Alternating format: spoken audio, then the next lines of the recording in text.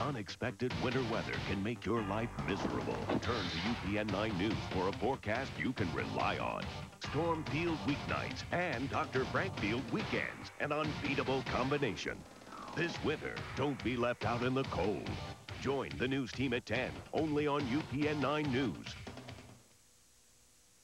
Right now, the award-winning Nissan